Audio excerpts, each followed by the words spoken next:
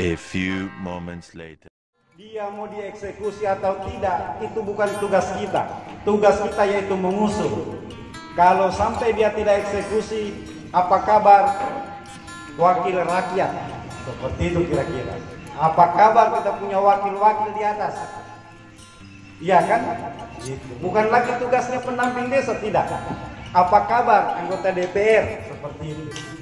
Kita sudah mengusung Pak, kenapa tidak dieksekusi? Seperti itu. Adakah dikawal atau didiamkan? Kira-kira seperti itu. Ya, jadi itu saja dari kami pendamping desa Bilahi Taufiq Walidaya. Wassalamualaikum warahmatullahi wabarakatuh.